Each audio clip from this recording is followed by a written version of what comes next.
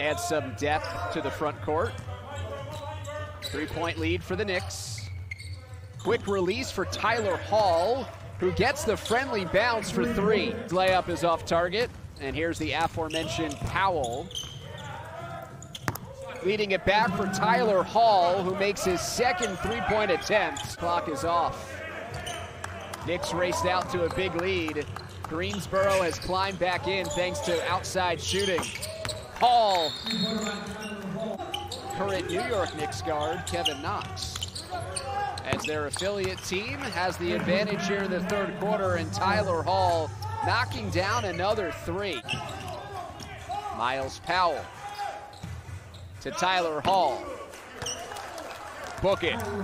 For the foul to come, but at least not look for a quick shot. Back door. Acrobatic Tyler Hall.